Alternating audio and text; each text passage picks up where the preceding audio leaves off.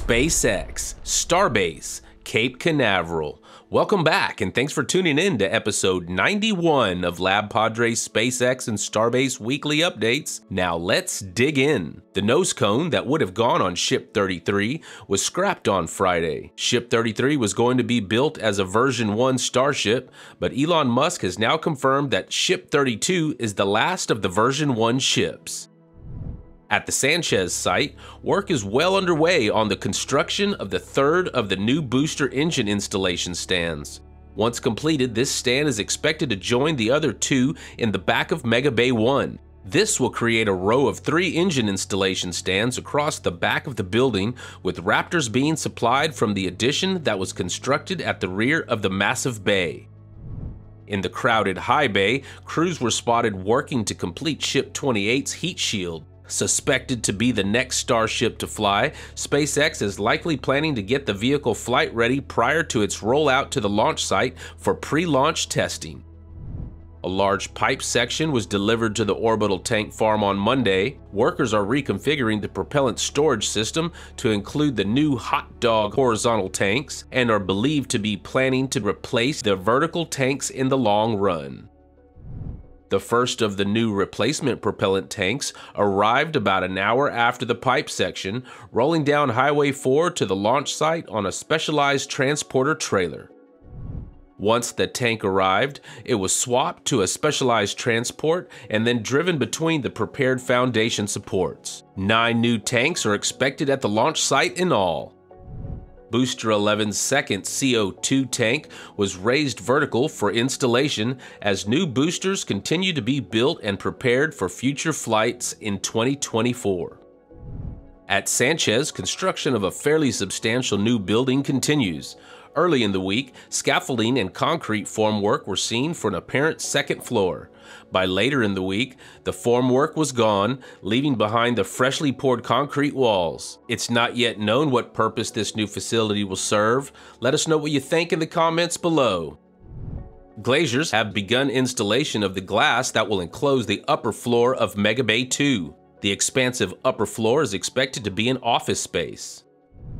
By Tuesday, workers look to be wrapping up the installation of heat shield tiles over the bands where Ship 28's section were welded together, moving the ship one step closer to its upcoming test campaign. Throughout the week, at the gate to the test stand tank farm and new parking lot, concrete carpenters continue to make progress on the ends of the walls and the large beam that will span the entrance connecting them. Lettering for a new sign arrived at the launch complex on Tuesday ahead of its installation on the curved wall facing Highway 4. A second new cryo tank was delivered to the launch site. A couple of hours later, it was parked next to the first tank on the concrete support stands.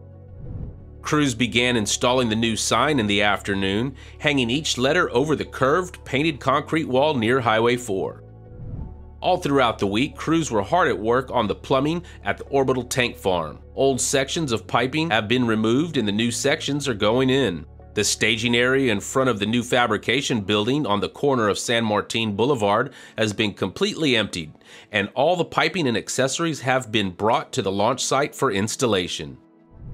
The third new cryo tank was delivered to the launch site, repeating the process of the prior two tanks. Meanwhile, installation of the new sign continued, with the letter S joining the initial R of Mars. The booster stabilization pins, which help to locate the booster onto the clamps when it's mounted onto the launch table, were brought to the launch complex for installation on the orbital launch mount.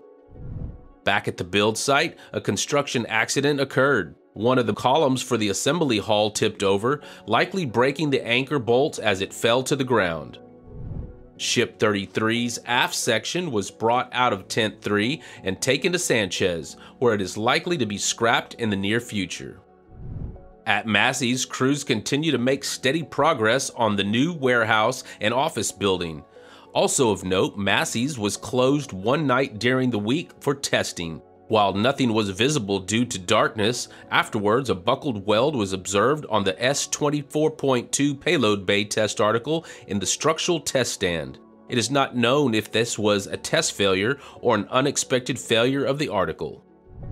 At Mega Bay 1, preparation continues ahead of the expected installation of a massive door for the building. Welders were spotted working on the new steel door tracks along the side of the doorway. Up above, some of the exterior cladding has been removed, likely to allow for installation of either additional steel or the door itself. The fourth letter of the launch complex signage was installed on Wednesday, completing the word Mars. Meanwhile, the fourth cryogenic tank was spotted entering Starbase on the final leg of its journey to the launch complex. The procedures for the fourth tank were largely the same as the first three. This tank, however, was not placed right next to the previous one, but rather left a one tank wide gap as the fourth set of foundations are a slightly different configuration, indicating a different tank will probably go there. Having spent the past two weeks on the ground for the launch of IFT 2, SpaceX's LR 11000 was raised and ready to resume operations at the launch site. Over at the launch pad, the booster stabilization pins were reinstalled onto the orbital launch mount. Given the pace of pad operations, we could soon see Booster 10 at the launch site in the near future. The fifth cryo tank followed the same procedures as the previous deliveries, and the new cryo tank was placed next to Tank 4. A traffic cone was caught under the wheels of an SUV and needed to be rescued from the road. Fortunately, I was on site to save the day. The SpaceX self-propelled modular transporter that placed the cryo tanks onto their stands departed the launch complex early on a rainy Thursday morning. Over at the build site, some of the steel that had been erected for the Star Factory expansions was taken back down following the accident earlier in the week. Several pipe supporting steel stands have been placed at the launch site to carry the plumbing for the newly added cryo tanks. Installation of the new sign continued outside the launch complex, and the sign was one letter away from completion before noon. Crews began washing down the rest of the bare concrete wall, possibly in preparation for paint, as the sign crews brought in the final letter for the Gateway to Mars signage outside the launch complex. Finally, by that afternoon, the last letter was lifted and installed, completing the message that Starbase really is the gateway to Mars. Shortly after sunset, workers were seen investigating the new sign and scanning over the letters with flashlights. Over at Port Canaveral, Crosby Skipper returned to port following the Starlink Group 6 29 launch with a Shortfall of Gravitas and Falcon 9 Booster 1067 on Friday. That same evening, Crosby skipper towed Just Read the Instructions out to sea in support of the Starlink Group 6 30 mission. Saturday saw Falcon 9 Booster 1069 laid onto the transporter at the docks for its return to Roberts Road to be refurbished. SpaceX support ship Bob left Port Canaveral to support the Starlink Group 6 30 mission ahead of the Falcon 9 scheduled Monday night launch. After undergoing repairs at dry dock in Charleston, SpaceX support ship Doug returned to Port Canaveral on Sunday evening. A large assembly of bright blue, orange, and yellow equipment, currently believed to be for Blue Origin, arrived in Port Canaveral on Monday. Once the equipment was hooked up to a heavy lift crawler crane, it was hoisted off the barge and placed on the Port Canaveral docks. Falcon 9 Booster 1062 successfully lifted off on schedule for its 17th mission, launching Starlink Group 6 30 and its 23 satellites into orbit. Crews were performing Dragon capsule recovery training on Tuesday, instructing personnel in post splashdown operations with a mock up spacecraft before returning to the docks. Signet Titan towed a Shortfall of Gravitas out to sea on Tuesday in support of the Starlink Group 6 31 mission scheduled for a Friday launch.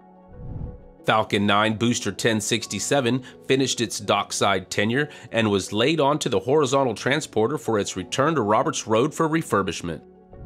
Bob returned to Port Canaveral with both fairing halves from the Starlink Group 6 30 mission that afternoon.